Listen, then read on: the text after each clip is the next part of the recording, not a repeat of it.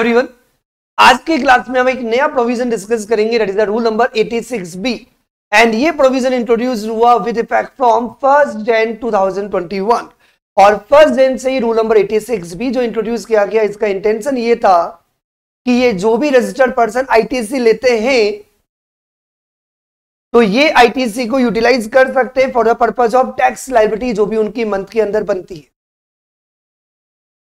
Now ये rule number 86 भी अब ये रेस्ट्रिक्ट करेगा कि जितना भी आईटीसी का बैलेंस है जितना भी आपका आईटीसी का बैलेंस है, अब आप पूरा आईटीसी का बैलेंस यूज़ नहीं कर सकते।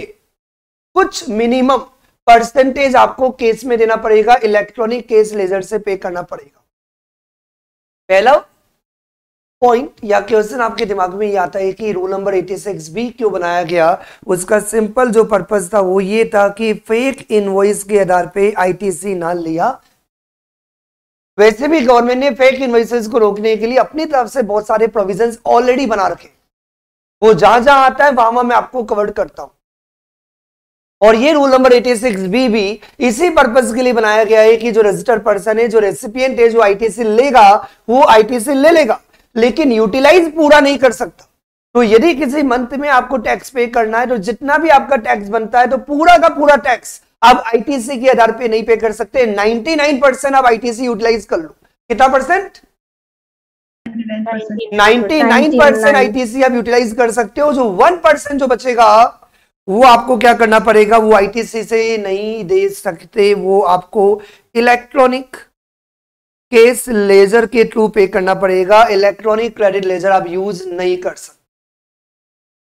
लेकिन ये रूल नंबर 86 भी किन किन के ऊपर एप्लीकेबल होता है किन किन के ऊपर एप्लीकेबल नहीं होता, ये सब हमें डिटेल में देखना पड़ेगा।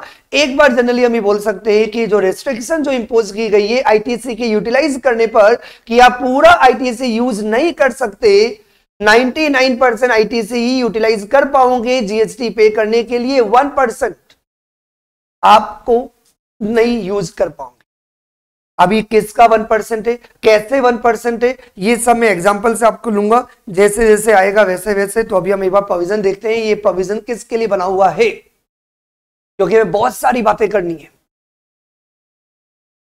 कि किन के ऊपर एप्लीकेबल होगा और किन के ऊपर एप्लीकेबल नहीं होगा।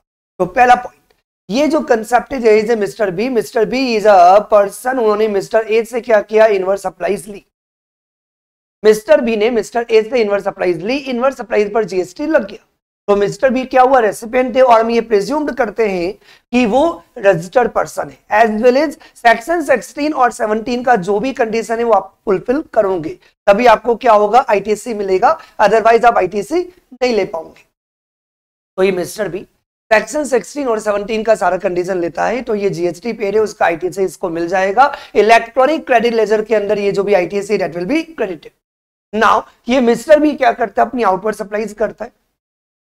ये जो भी आउटवर्ड सप्लाईज करता है, उसके ऊपर इसका जीएसटी पेएबल होगा। और जितना भी इसका जीएसटी पेएबल होगा, क्या ये पूरा का पूरा जीएसटी पेएबल अपने आईटीसी से यूज़ कर सकता है या नहीं? लेकिन ये रूल नंबर 86 बी का जो रेस्ट्रिक्शन है, ये रूल नंबर 86 बी का जो रेस्ट्रिक्शन है, ये मिस्टर बी के ऊपर मिस्टर बी के ऊपर तभी एप्लीकेबल होगा यदि मिस्टर बी का वैल्यू ऑफ़ टैक्सेबल सप्लाईज क्या बेटा? वैल्यू ऑफ़ टैक्सेबल सप्लाईज और जैसे ही मैंने टैक्सेबल सप्लाई बोला तो अपने आप समझ में आ गया होगा सर एग्ज़ाम सप्लाई तो इंक्लूड होगा नहीं। तो यहाँ पे क्लियरली भी दिया हुआ है कि एग्ज़ाम सप्लाई के अलावा और ज़ीरो रेटेज सप्लाई के अलावा। कोई बताएगा ज़ीरो रेटेज सप्लाई के अंदर कौन सी दो सप्लाईज आती है? Export and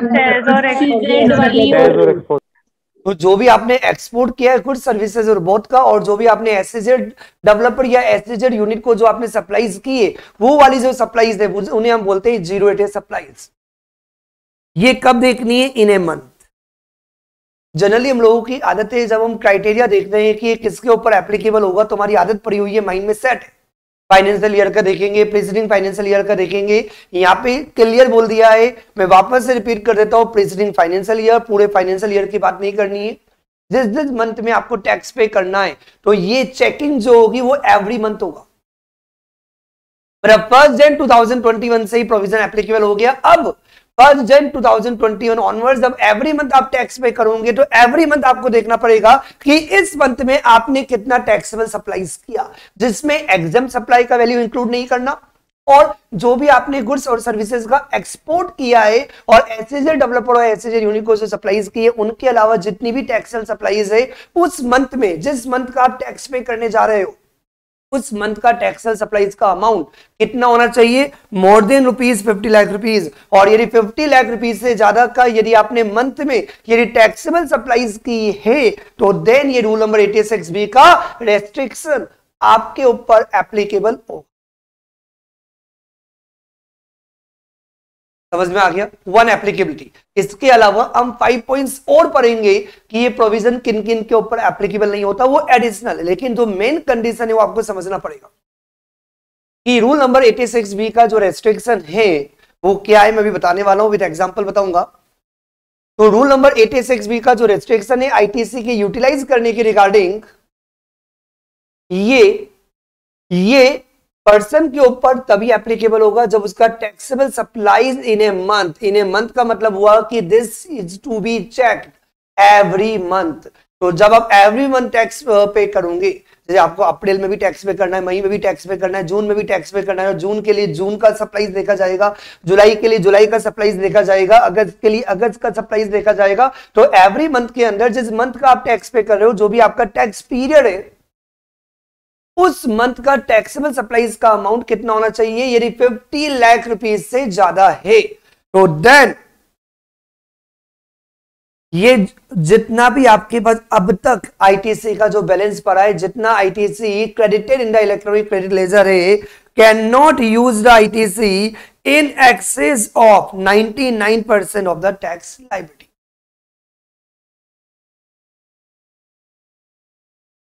we take an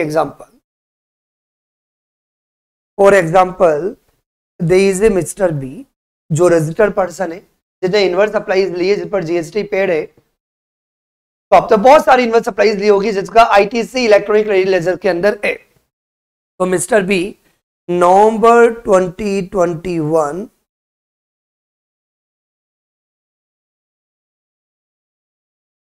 value of taxable supply जिसमें एग्ज़ाम सप्लाई का वैल्यू इंक्लूड नहीं किया।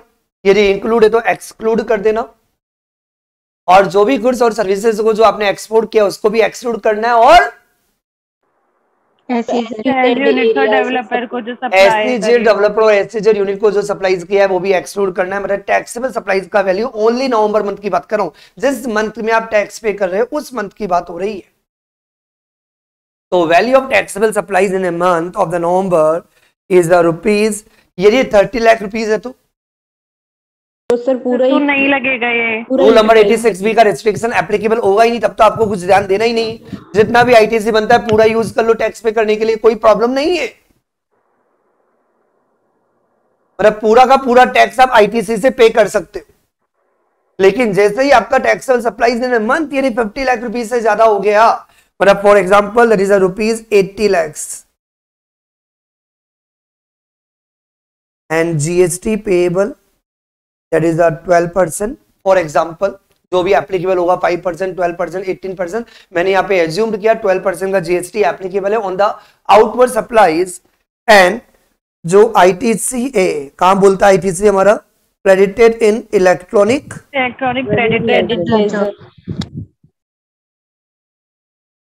तो मैं कैसे टैक्स पे करूँगा वो समझना पड़ेगा एज पर रूल नंबर 86 भी मैं आगे बताऊँगा कितना अमाउंट है। आपकी टैक्स लाइबिलिटी कितनी बनती है? टैक्स लाइबिलिटी ऑफ़ नवंबर 2021 कोई बताएगा कितना टैक्स बना? Nine lakh sixty thousand eighty lakh का twelve percent that is rupees nine lakh sixty thousand rupees का आपका टैक्स बना। और फॉर एग्ज़ाम्पल जो आईटीसी का जो बैलेंस है इलेक्ट्रॉनिक क्रेडिट लेजर में बोल रहा है नवंबर मंथ में अब तक हमारे पास दैट इज़ रुपीज़ मान लो टेन लाख रुपीज़ का आईटीसी बैलेंस है। तो मैं पूरा का पूरा टैक्स आईटीसी से पे कर सकता हूँ। आई एम राइट और नॉट वैसे पे कर सकता हूँ। वैसे पे कर सकता हूँ यदि रूल 86 भी नहीं आया होता तो।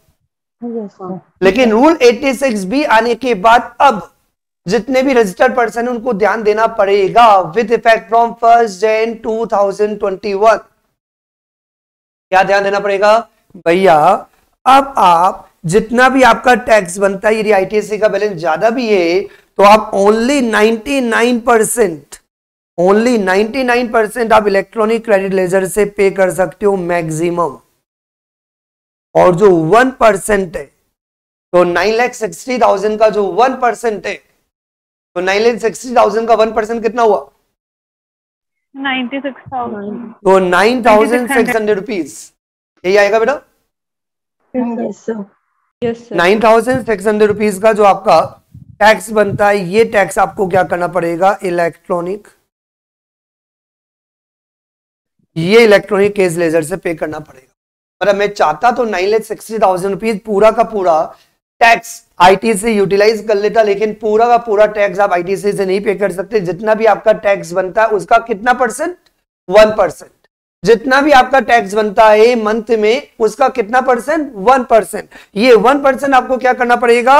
ये आपको इलेक्ट्रॉनिक केस लेजर से पे करना पड़ेगा। गवर्नमेंट ये कहती है, हो सकता है कि आपके फेक इन्वॉइसेस हो या कोई भी रीजन हो। तो इसका मतलब ये हुआ कि हम नॉट जेन्युइन पर्सन को रोकना चाह रहे थे, जो जेन्युइन पर्सन पे भी इंपैक्ट पड़ेगा।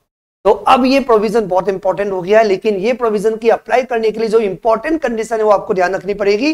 वो कंडीशन ये है कि आपको मंथली चेक करना पड़ेगा, और जिस जिस मंथ आपको टैक्स पे करना है तो उस मंथ का आपको टैक्सेबल सप्लाई का वैल्यू देखना पड़ेगा। यदि आपका टैक्सेबल सप्लाई का वैल्यू यदि फिफ्टी लैक्स से ज़्यादा है टैक्स का अमाउंट नहीं। टैक्स का अमाउंट कितना भी हो वो इंपॉर्टेंट नहीं है। इंपॉर्टेंट क्या बेटा? वैल्यू वैल्यू तो value of taxable supply in a month यदि 50 लाख से ज़्यादा है तो आपको यह चेक करना पड़ेगा कि जितना भी आपका टैक्स बन रहा है तो पूरा का पूरा टैक्स आईटीसी में बैलेंस होने के बाद भी आप यूज़ नहीं कर सकते। उस टैक्स का कितना परसेंट 99 परसेंट तो आप यूटिलाइज कर सकते हो। कितना percent one percent one percent कैसे पे करना पड़ेगा? इलेक्ट्रॉनिक लेजर से पे करना मैंडेटरी कंपल्सरी है। और हमने तो ये प्रोविज़न ऑलरेडी पढ़ लिया और भी आगे प्रोविजंस आएँगे। यदि आप रूल 86 बी के प्रोविज़न यदि कॉन्ट्राबिन नहीं करते तो हमने आपको रजिस्ट्रेशन दिया था ना तो रजिस्ट्रेशन कैंसिल भी कर सकते लेकिन वो यहाँ नहीं दिया हुआ है। तो उसके कॉन्ट्रावेंशन पर क्या क्या इंपैक्ट पड़ेगा और रेस्पेक्टिव रेस्पेक्टिव प्रोविजंस में आएगा? यहाँ तो रूल नंबर 86 बी में आपको ये दिया हुआ है कि क्या रिक्वायरमेंट है प्रोविज़न की। तो एक बार हम लैंग्वेज पढ़ते हैं कि रूल नंबर 86 बी में क्या दिया हुआ है। इसकी फ़र्स्ट लाइन आप रीड करो notwithstanding anything contain in these rules मतलब सी जीएसटी रूल्स में जो भी प्रोविज़न दिया है, सब बाहर में जाए। जो हम कह रहे हैं, वो ध्यान से सुनो। मतलब ये ओवरराइडिंग इफ़ेक्ट है। Irrespective of any of the provisions of the rules तो ये रूल्स के प्रोविजंस को कॉन्ट्राविन करता है। एक्ट के प्रोविज़न को कॉन्ट्राविन नहीं कर रहा। तो रूल्स में कौन से रूल्स सीजीएसटी के जो भी रूल्स है, उनको प्रोविज़न को मतलब ओवरराइड करता है। ओवरराइड करके क्या बोलता है? जो हम बोल रहे हैं, वो आपको अप्लाई करना है। क्या the registered person shall not use the amount available in the electronic credit ledger तो इलेक्ट्रॉनिक क्रेडिट लेजर बोलने का मतलब क्या हुआ? आईटीसी का बैलेंस तो जितना भी आईटीसी आपका इलेक्ट्रॉनिक क्रेडिट लेजर में बोलता है, आप पूरा आईटीसी यूज़ नहीं कर सकते। To discharge is liability towards output tax ध्यान से पढ़ना in excess of 99 percent ninety किसका लेना है? आउटपुट टैक्स का। आउटपुट टैक्स लाइबिलिटी का। तो आउटपुट टैक्स लाइबिलिटी का 99 परसेंट तक का तो आप आईटीसी यूज़ कर सकते हो। तो इसका मतलब टैक्स लाइबिलिटी का वन परसेंट का क्या होगा? तो आई जो भी आपकी टैक्स लाइबिलिटी बनती है उसका वन परसेंट क्या होगा? वन परसेंट आपको cash cash electronic cash ledger से पे करना पड़ेगा। लेकिन ये वाला जो प्रोविज़न है ये तभी एप्लीकेबल होगा where the value of taxable supply किन सप्लाईज को हटा के एग्ज़ाम सप्लाईज के अलावा and second zero rated supply के अलावा। In a month more than rupees? Fifty lakhs. तो देन रूल नंबर 86 बी का रिस्ट्रिक्शन अप्लाई होगा। किसी को यहाँ तक कोई कंफ्यूजन है? सर इससे फेक इनवॉइसेस कैसे होंगे प्रिवेंट इससे फेक इन्वॉइसेस ऐसे चेक होगी कि अब कोई बंदा बिल्कुल भी आपका टैक्स नहीं पे करना चाहता तो बिना मतलब के फर्जी बिल परचेज दिखा देता है अपनी बुक्स के अंदर। फेक इन्वॉइसेस बनवा लेता है मतलब ले लेता है इनवर्स सप्लाईज के फॉर्म में, जिससे कि टैक्स ना लगे। मतलब ये कि प्रैक्टिकल पॉइंट है ये। रियल लाइफ में बहुत काम आता है। कैसे? रियल लाइफ में लोग अब तक क्या किया करते थे? मतलब गवर्नमेंट को सब पता है। और अच्छा को लगता है कि गवर्नमेंट को पता नहीं। गवर्नमेंट को पता और प्रैक्टिकली मैंने देखा भी। वैसे बहुत सारे प्रोविज़न ऑलरेडी बने हुए मेरा सिंपल सा पॉइंट है प्रैक्टिकली करते क्या लोग? मेरी सप्लाईज कितने मंथ की हुई? तो मेरी सप्लाईज रिकॉर्ड हो गई चालीस लाख की। मेरी सप्लाईज कितनी होगी? नब्बे लाख की। इस पर कितना टैक्स बना? पंद्रह। चलो, इतने के इनवर्स सप्लाईज के इनवॉइस पैक बनवा लो। This is the concept of practical life देखिए, हम थ्योरिटिकली बहुत ज़्यादा ऐसी बातें करेंगे नहीं, क्योंकि बहुत डीपली है। जब प्रैक्टिकल लाइफ में हम आएँगे तो हमें समझ में आ जाएगा। तो यहाँ पे यहाँ पे ये दिया हुआ है कि इस टाइप की वर्किंग रियल लाइफ में होती है। तो गवर्नमेंट ने बोला कि आप बिल्कुल भी अपनी जेब से केस नहीं पे करना चाहते, हम वन परसेंट तो लेंगे अब आपका। अब आप चाहे इनवॉइस ज़्यादा दिखा दो, और इसमें प्रॉब्लम है, अब जेन्युइन लोग भी होंगे। गवर्नमेंट का इंटेंशन तो उन लोगों को रोकना था जो मेला फाइट थे। अब जेन्युइनली मैंने क्या किया, किसी मंथ के अंदर मैंने ज़्यादा का आर्टिकल्स परचेज कर लिया। फॉर एग्ज़ाम्पल इसी मंथ मेरी सप्लाईज हुई पचास लाख की, सत्तर लाख की। लेकिन मैंने क्या किया, मेरा विंटर आने वाला है। सीजनल बिज़नेस है मेरा। तो विंटर आने की वजह से मैंने क्या किया, मैंने दो, एक महीने पहले, दो महीने पहले सारे विंटर के क्लोथ परचेज करके रख लिए एक करोड़ के। तो मेरे पास आईटीसी ज़्यादा होगा। तो वैसे मेरा आईटीसी यूज़ आना चाहिए, लेकिन गवर्नमेंट की नज़र उन लोगों पर थी, जो बिल्कुल भी टैक्स अपनी जेब से पे करना ही नहीं चाहते। गवर्नमेंट बोलते कुछ तो निकालो यार तुम। और अब जेनुइन बोलेंगे, हमें नुकसान हो रहा है। तो बोलते भैया आईटी से जो आपका पड़ा है ना, उसको आप कैरी फॉरवर्ड कर सकते हो, कोई प्रॉब्लम नहीं और बाकी कुछ एग्जामेशन हम आगे भी देंगे। ये एंश्योर करते हुए कि आप जेन्युइन लगे, आप रियल में बड़े प्लेयर्स हो, कुछ ऐसे पॉइंट्स आएँगे तो उनमें हम बात कर लेंगे। लेकिन एक बार गवर्नमेंट का इंटेंशन था कि एक ऐसा प्रोविज़न बना दिया जाए, जिससे कि एटलीस्ट एवरी मंथ जो बड़े प्लेयर्स है, कुछ टैक्स का अमाउंट वो केस में भी पे करें। इसको एंसर करने के लिए रूल नंबर 86 भी इंट्रोड्यूस किया गया। समझ में आ गई बात बेटा? और प्रोविज़न बहुत सिंपल सा है। एवरी मंथ बेसिस पे आपको चेक करना पड़ेगा जब फाइनेंशियल ईयर की बात नहीं है ऐसा नहीं है कि नवंबर में हो तो दिसंबर में भी हो। फॉर एग्ज़ाम्पल नवंबर में आपका आ, मतलब टैक्सेबल सप्लाईज का वैल्यू अस्सी लाख हो गया। तो हो सकता है कि दिसंबर में आपका तीस लाख तो दिसंबर में प्रोविज़न अप्लाई नहीं होगा। तो ये तो मंथली बेसिस पे आपको चेक करना पड़ेगा ना बेटा? ये बात बिल्कुल क्लियर होगी। और टैक्सेबल सप्लाई का वैल्यू कितना होना चाहिए? 50 लाख से ज़्यादा होना चाहिए। और यदि 50 लाख से ज़्यादा यदि आपका टैक्सेबल सप्लाई का वैल्यू है तो आपको याद रखना पड़ेगा, जितनी आपकी टैक्स लाइबिलिटी है, उसका one percent one percent ITC का बैलेंस होने के बावजूद भी आपको इलेक्ट्रॉनिक केस लेजर से ही पे करना पड़ेगा। इलेक्ट्रॉनिक क्रेडिट लेजर आप यूज़ नहीं कर सकते।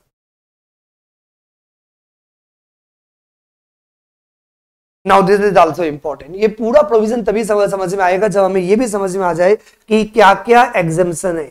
मतलब एग्जामेशन मतलब रूल नंबर 86 बी की रेस्ट्रिक्शन किन किन के ऊपर एप्लीकेबल नहीं होती। ये पाँच पॉइंट और कंप्लीट होंगे तो आपको अच्छी तरह समझ में आ कि आवर द रेस्ट्रिक्शन कौन सी रेस्ट्रिक्शन रूल 86 बी तो रूल 86 बी की जो रेस्ट्रिक्शन है वो एप्लीकेबल नहीं होगी। Means you can say एग्जामेशन is given किनको?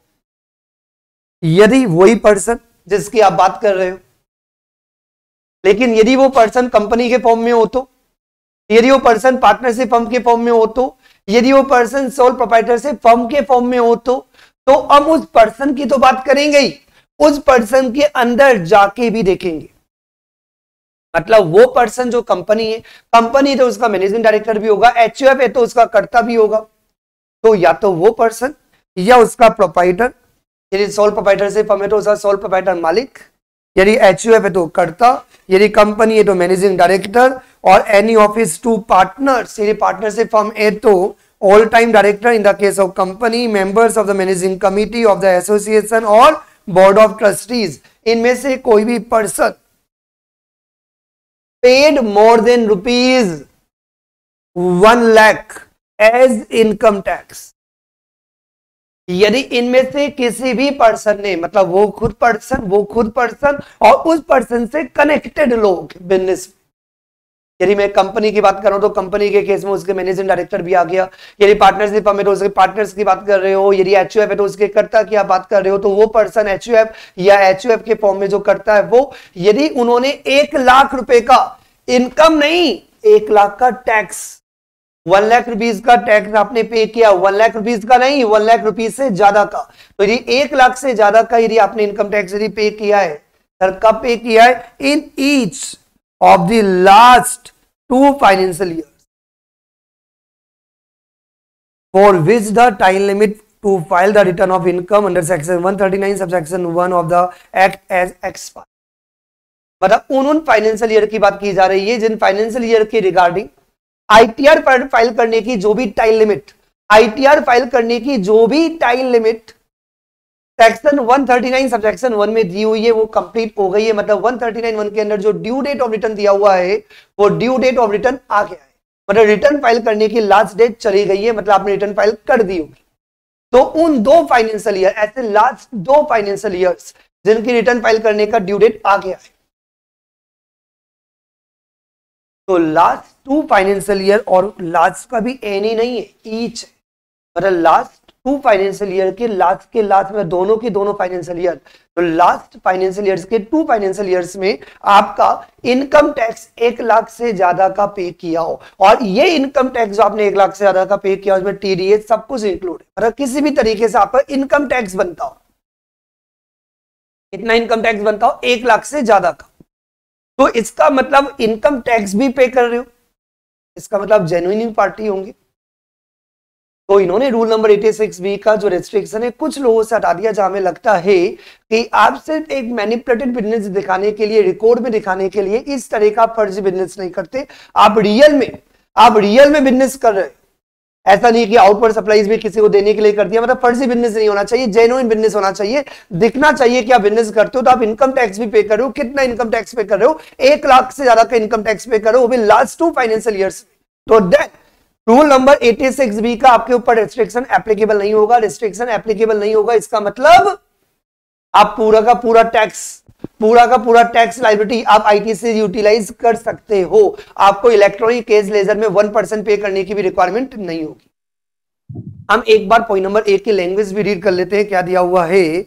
द सेड पर्सन वो पर्सन या उसका प्रोपाइटर या कर्ता या एमडी या any of his two partners all time directors members of managing committee या BOT have paid more than rupees 1 lakh as income tax in each of the last two financial years for which the time limit to file the return of income under section 139.1 has been expired.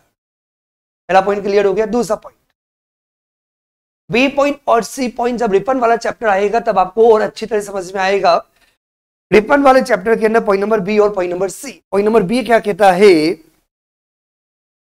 Refund आपने लिया होगा on account of unutilized ITC generally generally जब हम refund वाला chapter पढ़ेंगे तो उसमें दिया हुआ है कि आईटीसी का रिफंड नहीं मिलता।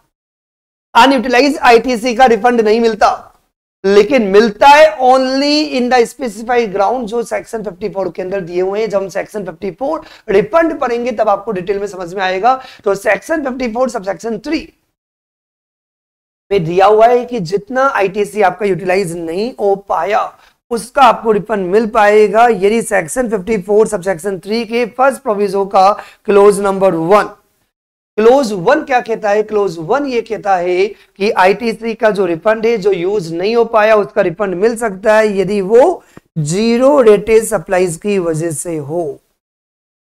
मतलब मतलब ये ये बी भैया है। इन्होंने अपनी आउटवर्ड जो सप्लाईज है, उनको क्या कर दिया? एक्सपोर्ट कर दिया और एक्सपोर्ट पे आपने टैक्स नहीं पे किया। तो जो आपकी इनवर्स सप्लाईज है, और जो आपके इनवर्स सप्लाईज है, उन इनवर्स सप्लाईज पे जो भी जीएसटी आपने पे किया होगा, उसका आपको आईटीसी तो मिलेगा। सर, ये कहाँ दिया हुआ ये तो हमने पढ़ी लिया ना बेटा। ज़ीरो रेटेड सप्लाईज के लिए जो भी इनवर्स सप्लाईज यूज़ की जाती है उसका आईटीसी मिलता है। आईटीसी तो मिलता है लेकिन ये आईटीसी यूज़ का आएगा ये आईटीसी यूज़ आ पाएगा? क्योंकि आपकी आउटवर्ड सप्लाईज पर टैक्स नहीं लगा। आपको अपनी आउटवर्ड सप्लाईज पर टैक्स नहीं देना लेकिन आईटीसी तो मिलता है। तो ये आईटी से यूज़ नहीं हो पाएगा तो रिफंड वाले चैप्टर में आपको डिटेल में बताऊँगा। फिर भी मैंने आपको एक इंट दे दिया कि ये जो आईटी से यूज़ नहीं हो पा रहा, ये आईटीसी का रिफंड मिल जाता है as per the provision of section 54 subsection 3 और यदि बी ने ऐसा जो रिफंड लिया है आईटीसी का आईटीसी का on the ground of zero supplies तो ज़ीरो सप्लाईज की वजह से जो आईटीसी यूटिलाइज नहीं हो पाया, उसका रिफंड यदि लिया है, कितने अमाउंट का? वन लाख से ज़्यादा। वन लाख रुपीज़ से ज़्यादा का और ये मंथली बेसिस पे आपको चेक नहीं करना पड़ेगा। ये आपको चेक करना पड़ेगा in the preceding financial year sir तो आईटीसी ज़ीरो रेटेड सप्लाईज जैसे कि फॉर एग्जांपल हम बात करें नवंबर 2021 की। तो यदि मेरा करंट फाइनेंशियल ईयर नवंबर 2021 है तो मेरा प्रीसीडिंग फाइनेंशियल ईयर क्या होगा बेटा? 2021 तो इसका मतलब मुझे ये जो देखना है ये देखना है फाइनेंशियल ईयर 2020-21 फाइनेंशियल ईयर 2020 2021 तो 2021 में आपको ये चेक करना पड़ेगा कि यदि आपका रिफंड का अमाउंट जो आपने क्लेम्ड कर लिया जो आपने रिसीव्ड कर लिया जो जो रिफंड आपको मिला किसके ग्राउंड पे? ज़ीरो सप्लाईज की वजह से। बाकी ज़ीरो सप्लाईज में दो ऑप्शंस होते हैं। क्या होते हैं? अब इस बारे में हम बात नहीं करें क्योंकि हम बात करें आईटीसी के बारे में। तो हम पोस्टमार्टम ज़्यादा आईटीसी के बारे में ही करेंगे। ज़ीरो एटे सप्लाईज के रिफंड के बारे में। ज़ीरो एटे सप्लाईज का रिफंड रिफंड वाले चैप्टर के अंदर बात करेंगे सेक्शन 54.3 जहाँ हम सिर्फ़ रिफंड की बात नहीं करेंगे, वहाँ हम ये भी बात करेंगे कितना मिलेगा, किस तरीके से मिलेगा, वो पूरा कैलकुलेशन हम देखेंगे अलोंग विथ रूल्स लेकिन फ़िलहाल रूल नंबर 86 भी आईटीसी के लिए आपको ये याद रखना पड़ेगा कि यदि प्रीसीडिंग फाइनेंशियल ईयर के अंदर, यदि प्रीसीडिंग फाइनेंशियल ईयर के अंदर 2021 में यदि आपने रिफंड ज़ीरो सप्लाईज की वजह से, क्योंकि ज़ीरो सप्लाईज पर आपने टैक्स पे नहीं किया उन पर आपका टैक्स लगता नहीं आउटवर्ड सप्लाईज पर तो जो इनवर्ड सप्लाईज पर जो आपने टैक्स पे कर दिया, उसका आपको आईटीसी मिलेगा आईटीसी यूज़ नहीं आएगा, और जब ये आईटी से आपका यूज़ आएगा नहीं, और जब ये आईटी आपका यूज़ आएगा नहीं तो आपका आईटीसी का बैलेंस पड़ा है। तो ये जो आईटीसी का जो बैलेंस पड़ा है इसका आपको क्या मिल जाएगा? रिफंड मिल जाएगा। मिल जाएगा और ऐसा आपने रिफंड क्लेम किया होगा। कौन से ईयर में? इस मंथ की बात नहीं हो रही है ये प्रीसीडिंग फाइनेंशियल ईयर की बात हो रही है। तो प्रीसीडिंग फाइनेंशियल ईयर के अंदर आपने ज़ीरो एटे सप्लाईज की वजह से जो आईटीसी के जो रिफंड लिए थे वो एक लाख रुपए से ज़्यादा के लिए थे। कितने के बेटा? एक लाख से ज़्यादा। और यदि वन लाख रुपीज़ से ज़्यादा के लिए आपने रिफंड लिए थे तो इस मंथ में इस मंथ में आप अपनी टैक्स लाइबिलिटी पूरा का पूरा आईटीसी के थ्रू यूटिलाइज कर सकते हो। वन परसेंट भी आपको इलेक्ट्रॉनिक केस लेजर से पे करने की ज़रूरत नहीं। अब किसी को कोई डाउट है जितना आईटीसी का पार्ट है उसके रिगार्डिंग तो पूछ सकता है पॉइंट नंबर बी के रिगार्डिंग कोई डाउट है किसी को? तो सर यहाँ पे तो पूरा मंथ थोड़ा देखेंगे। वो तो प्रीसीडिंग फाइनेंशियल देख रहे हैं ना तो इस इस पूरे फाइनेंशियल ईयर में हम पूरा यूज़ कर सकते हैं ना? यहाँ थोड़ी मंथ वाइज चलेंगे? नवंबर 2021 में अब जितना भी आपका टैक्स बन रहा है जितना भी टैक्स बन रहा है तो पूरा का पूरा टैक्स आप आईटीसी को यूज़ कर सकते हैं। हाँ मोना क्या डाउट है इसमें सर मैं ऐसा बोल रही हूँ कि प्रीसीडिंग फाइनेंशियल ईयर में अगर हमें रिफंड मोर देन वन लेख का लिया है हाँ। तो जो करंट फाइनेंशियल ईयर है उस पूरे में हम पूरा आईटीसी यूटिलाइज कर सकते हैं ना? यस यहाँ थोड़ी पर मंथ देखेंगे। नहीं नहीं नहीं ये मंथली बेसिस पर नहीं ये तो पर ये तो पूरी यदि प्रीसीडिंग फाइनेंस हाँ यहाँ तो मंथ वाला कंसेप्ट ही नहीं है ना। तो प्रीसीडिंग फाइनेंशियल ईयर है तो प्रीसीडिंग फाइनेंशियल ईयर मतलब लास्ट ईयर का देखना तो पूरे ईयर में मतलब मतलब ये कि आप फाइनेंशियल ईयर 2021 और 2022 के लिए आप क्या हो गए? एग्ज़ाम हो गए। तो पूरे फाइनेंशियल ईयर में मतलब अप्रैल 21 से लेके मार्च 2022 तक आपको वन परसेंट भी पे करने की ज़रूरत नहीं है। यदि आप किसी मंथ आपका टैक्सेबल सप्लाईज का वैल्यू यदि पचास लाख से ज़्यादा हो भी तो कोई बात कर रहे पूरे फाइनेंशियल ईयर की बात करता है। इंप्लाइड है वो तो। कोई और कंफ्यूजन सर एक बार ए पॉइंट में बता दो। पॉइंट नंबर ए तो बड़ा सिंपल सा है, ये यहाँ पे ये बात कर रहा है कि जो पर्सन है खुद मतलब यदि कंपनी है या पार्टनरशिप फर्म है या इंडिविजुअल सोल प्रोवाइडरशिप फर्म है तो वो खुद और उनके रिगार्डिंग जो भी मालिक वालिक होते हैं ना मेन मेन जो टॉप पर्सन है वो, उन्होंने यदि प्रिजनिंग फाइनेंशियल ईयर के अंदर मतलब ऐसे लास्ट टू फाइनेंशियल ईयर्स में यदि इनकम टैक्स अमाउंट यदि एक लाख से ज़्यादा पे किए हैं तो उनको अगेन अभी वाले फाइनेंशियल ईयर में, ये लफड़ा जो है वन परसेंट का, वो उनके ऊपर एप्लीकेबल नहीं होगा। तो सर मेरा डाउट ये कि अगर कंपनी का कोई केस है तो इसमें जो इनके जो ऑफिसर्स है जो एमडी होल्डर डायरेक्टर्स है इनको पे करना है इनकम टैक्स कंपनी भी कंपनी भी जहाँ सेड पर्सन भी लिखा हुआ है। और या तो कंपनी ने एक लाख से ज़्यादा का टैक्स पे किया हो या कंपनी के किसी मैनेजिंग डायरेक्टर ने एक लाख से ज़्यादा का टैक्स पे किया। क्लियर तो दिया हुआ बेटा? कोई भी और है एंड नहीं है। ऐसा नहीं कि कंपनी भी कंपनी हो जैसे कंपनी खुद है आप कंपनी की बात कर रहे हो तो कंपनी के लिए भी देखा जाएगा या उसके मैनेजिंग डायरेक्टर ने भी। हो सकता है कि कंपनी का टैक्स हो सेवेंटी थाउज़ेंड का बनाओ लेकिन एमडी का टैक्स डेढ़ लाख का बनाओ तो भी आपको बेनिफिट मिल जाएगा। द सेड पर्सन और दी मैनेजिंग डायरेक्टर और एनी ऑफ़ हिज पार्टनर्स या ऑल टाइम डायरेक्टर्स क्लियरली दिया है सबके बीच में क्या आ रहा है बेटा? और इनमें से किसी पर्सन ने यदि लास्ट टू फाइनेंशियल ईयर में यदि एक लाख से ज़्यादा का इनकम टैक्स यदि पे कर दिया तो ये वन परसेंट वाला भी लफड़ा अप्लाई नहीं होगा। ये था पॉइंट नंबर ए हाँ बेटा बोलो। जैसे है ना अगर वो डायरेक्टर है उसका उसका हो रहा है लेकिन है ना उसकी कंपनी का नहीं हो रहा तो वो रेस्ट्रिक्शन कंपनी पे तो लगेगी ना? रेस्ट्रिक्शन तो वैसे भी डायरेक्टर के ऊपर अप्लाई नहीं करनी क्योंकि डायरेक्टर तो वैसे ही बिज़नेस नहीं कर मतलब मतलब ये कि मैंने अभी यही वाली बात बोली थी कि फॉर एग्ज़ाम्पल ये जो बिज़नेस करती है, वो ए बी लिमिटेड करती है, ठीक है ना? तो मान लो कि ए बी लिमिटेड का तो टैक्स बन रहा है सेवेंटी थाउज़ेंड का और एट्टी थाउज़ेंड का। लेकिन यदि उस कंपनी में जो डायरेक्टर है ऑल टाइम डायरेक्टर्स या मैनेजिंग डायरेक्टर उन्होंने income tax last three financial year में मान लो टू ईयर्स में मान लो, यदि उनके डेढ़ डेढ़ लाख के पे किए यदि उसके डायरेक्टर उसी कंपनी के डायरेक्टर यदि डेढ़ डेढ़ लाख के टैक्स यदि पे करते हैं तो जिसका बैकग्राउंड क्योंकि कंपनी किससे बनती है? कंपनी डायरेक्टर से तो बनती है पार्टनरशिप किससे बनती है? पार्टनर से बनती है। यदि कंपनी के डायरेक्टर इतने मोटे हैं, इतना इनकम टैक्स यदि पे करते हैं तो ये कंपनी हमें फेक नज़र नहीं आती। ये ऐसा पॉइंट है। मतलब जिस पर्सन की आप टैक्स निकाल लो हम सिर्फ़ उसी पर्सन पर नज़र नहीं रख रहे हैं। पॉइंट टू बी नोटेड बेटा।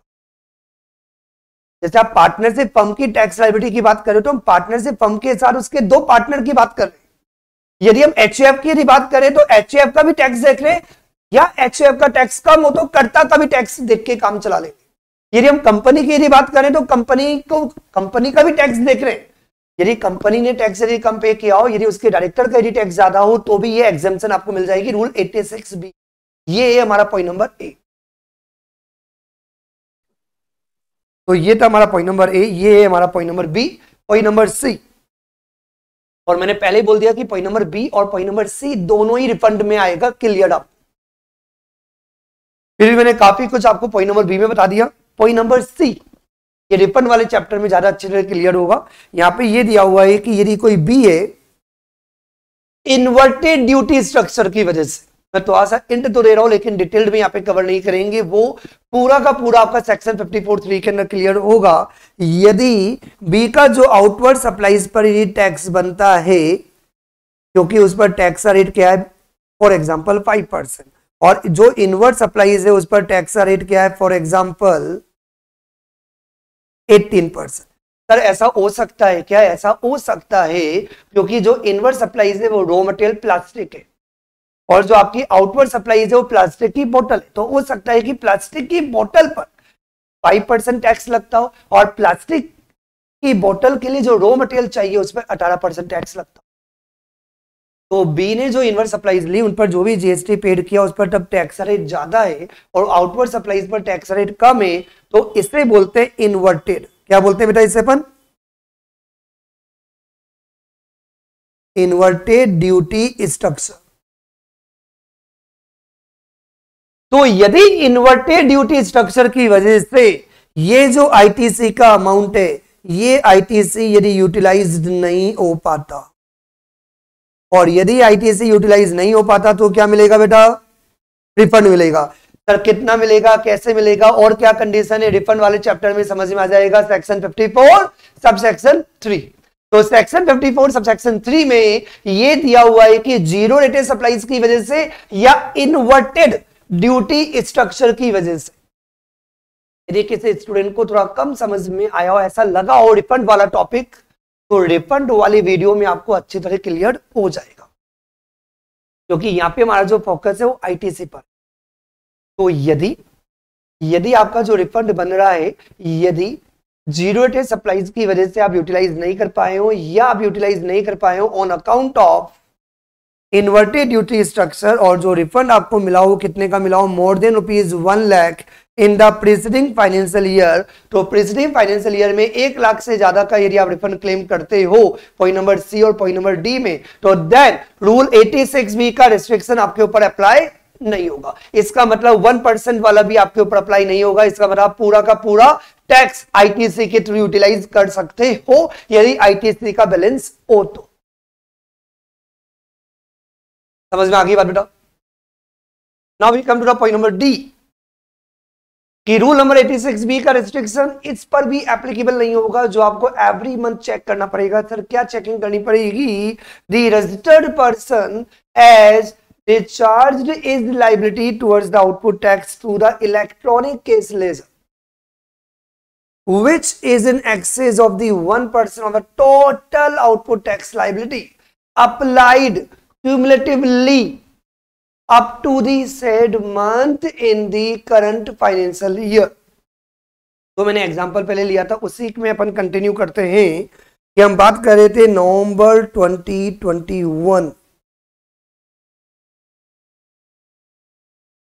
क्या सप्लाई था? वैल्यू ऑफ़ टैक्सेबल सप्लाईज का जो अमाउंट था that was the 80 lakh rupees तो नवंबर की जो टैक्सेबल सप्लाईज है, वो 80 लाख रुपीज़ है। यहाँ पे दिया हुआ है कि total output tax liability comma applied cumulatively अब तक का आपको देखना है up to said month in the current financial year तो नवंबर 2021 के हिसाब से आपके ऊपर करंट फाइनेंशियल ईयर कौन सा एप्लीकेबल होगा? Sir current financial year will be 21 22 तो नवंबर तक की जो भी आपकी टोटल आउटपुट टैक्स लाइबिलिटी है total output tax liability up to the said month तो नवंबर तक का जितना भी आपका टैक्स लाइबिलिटी है तो जितनी भी आपकी टैक्स लाइबिलिटी है, आप मान लो कितनी टैक्स लाइबिलिटी है तो यहाँ पे जो नवंबर की जो टैक्स लाइबिलिटी है तो एट्टी लैक्स का ट्वेल्व परसेंट आएगा। हम यहाँ पे ये एज्यूम कर लेते हैं कि अप्रैल, मई, जून, जुलाई, अगस्त, सितंबर, अक्टूबर, नवंबर। जो भी आपका टैक्सेबल सप्लाईज का जो वैल्यू है, वो टैक्सेबल सप्लाईज का जो वैल्यू है, वो अपन मान लेते हैं that is a two crore rupees तो टू करोड़ का जो आपका आउटपुट टैक्स लाइबिलिटी आएगा that is a twelve percent कितना आएगा बेटा ये? ट्वेंटी फोर लाख रुपीज़ यही आएगा ना बेटा? तो ट्वेंटी फोर लाख रुपीज़ का जो आपका आउटपुट टैक्स लाइबिलिटी है अप टू द मतलब मेरा नवंबर मंथ तक का जितना भी टोटल आउटपुट टैक्स लाइबिलिटी मैंने ओनली नवंबर का नहीं बताया। वैसे ही आपको देखना पड़ेगा कि नवंबर तक का आपने कितना टैक्स इलेक्ट्रॉनिक केस लेजर से पे कर दिया। तो इलेक्ट्रॉनिक केस लेजर से आपने अब तक कितना जीएसटी टैक्स पे कर दिया है।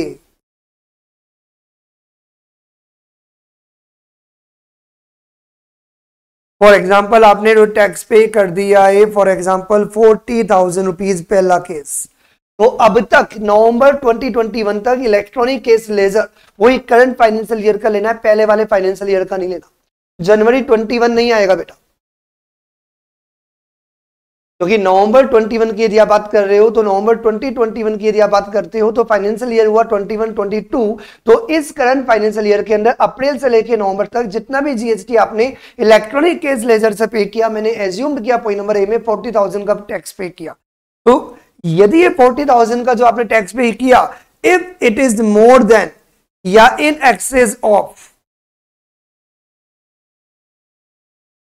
if it is more than the twenty four lakh का जो भी अपना अमाउंट आएगा सर कितना percent that is a one percent one percent of output tax liability total तो ट्वेंटी फोर लैख का वन परसेंट कितना हुआ sir that is twenty four thousand rupees तो ट्वेंटी फोर थाउज़ेंड रुपीज़ का टैक्स बनता है और आपने अब तक ऑलरेडी इलेक्ट्रॉनिक केस लेजर से क्यूमुलेटिवली अप्लाइड करके टोटल करके, इलेक्ट्रॉनिक केस लेजर से up to this month November तक, जो आपने टैक्सेस पे कर दिया, वो चालीस हज़ार का पे कर दिया, यदि आपने जो टैक्स इलेक्ट्रॉनिक केस लेजर से पे किया that is more than the one percent of total output tax liability then rule number 86 B rule number 86 B का जो रेस्ट्रिक्शन है, कि वन परसेंट आपको केस में पे करना पड़ेगा वो रेस्ट्रिक्शन इस मंथ में नवंबर 2021 के अंदर एप्लीकेबल नहीं होगी। तो इसका मतलब ये रेस्ट्रिक्शन आपको एवरी मंथ चेक करना पड़ेगा यदि आपके ऊपर रूल नंबर 86 भी अप्लाई होता है। On the basis of taxable supplies का value is more than 50 lakh rupees हमने स्टार्टिंग में बात की थी। जिनको अभी भी थोड़ा डाउट है टेंशन ना लो बेटा। हम एक और एग्जांपल ले लेते हैं कि यदि इलेक्ट्रॉनिक केस लेजर के थ्रू अब तक आपने क्यूमुलेटिवली जो टैक्स पे कर दिया, यदि वो सोलह हज़ार रुपए का अमाउंट है तो यदि आपने इलेक्ट्रॉनिक केस लेजर से जो कि टैक्स पे किया, वो सिक्सटीन थाउज़ेंड है और one percent of output tax liability यदि ट्वेंटी फोर थाउज़ेंड है तो इसका मतलब आपने अब तक इलेक्ट्रॉनिक केस लेजर से जो टैक्सेस पे किए वन परसेंट से कम है। तो इसका मतलब क्या होगा? यदि पॉइंट नंबर बी यदि एप्लीकेबल हुआ तो रूल नंबर 86 बी का रेस्ट्रिक्शन एप्लीकेबल होगा। तो पॉइंट नंबर बी में तो रूल नंबर 86 बी का रेस्ट्रिक्शन एप्लीकेबल होगा, लेकिन पॉइंट नंबर ए में पॉइंट नंबर ए में आपका रूल नंबर 86 बी का रेस्ट्रिक्शन एप्लीकेबल नहीं होगा।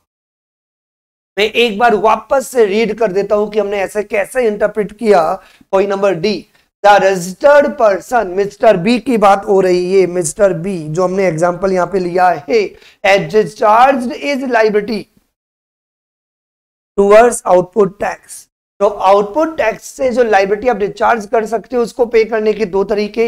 इलेक्ट्रॉनिक क्रेडिट लेजर से भी आप पे कर सकते हो इलेक्ट्रॉनिक कैश लेजर से भी आप पे कर सकते हो। तो जितना आपने आउटपुट टैक्स कैसे पे किया है इलेक्ट्रॉनिक कैश लेजर से, कितना is in excess of one percent of total output tax liability और ये आपको अप्लाइड करना है क्यूमुलेटिवली मतलब total up to the said month जो हमारा एग्जांपल था मंथ वाला, वो नवंबर 2021 था तो नवंबर 2021 तक का पूरा टोटल आपको देखना पड़ेगा टोटल आउटपुट टैक्स लाइबिलिटी भी और आपका जो इलेक्ट्रॉनिक केस लेजर से जितना आपने टैक्स पे किया। और up to this month in a current financial year जो आपने इलेक्ट्रॉनिक केस लेजर से जितना जीएसटी पे किया, यदि वो one percent of output tax liability से ज़्यादा है तो इस मंथ में, इस मंथ में वन परसेंट वाला रेस्ट्रिक्शन आपके ऊपर अप्लाई नहीं होगा अदरवाइज़ एप्लीकेबल होगा। ये है हमारा point number D point number E क्या कहता है? पॉइंट नंबर ई ये कहता है कि रजिस्टर्ड पर्सन यदि ये ये ये हुए तो उनके ऊपर भी रूल नंबर 86 भी एप्लीकेबल नहीं होगा, क्योंकि रूल नंबर 86 भी हम क्यों लेके आए? हम इसलिए लेके आए क्योंकि आप फेक इनवॉइसेस के थ्रू कोई मैनिपुलेशन कर सकते हो। और यदि ये मिस्टर बी ये जो रजिस्टर्ड पर्सन है यदि गवर्नमेंट ही हुई।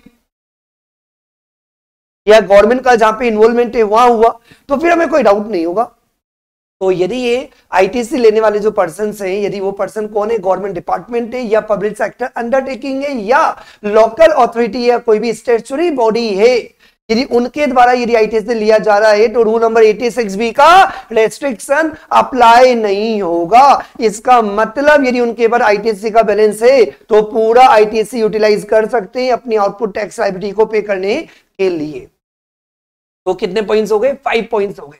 यदि इन फाइव में से कोई भी पॉइंट यदि एप्लीकेबल होता है तो रूल नंबर 86 बी का रेस्ट्रिक्शन अप्लाई नहीं होता। इसके अलावा एक ओपन पॉइंट और दे दिया गवर्नमेंट ने वो क्या दिया, वो ये दिया कि यदि कमिश्नर या कमिश्नर के द्वारा यदि कोई ऑथोराइज पर्सन को यदि आप एप्लीकेशन देते हो और यदि उनको लगता है कि आप जेनुइन हो तो यदि उन्हें सही लगता है, यदि उनकी सरकम में फिट होता है, यदि उनके ओपिनियन में आता है किनके कमिश्नर के।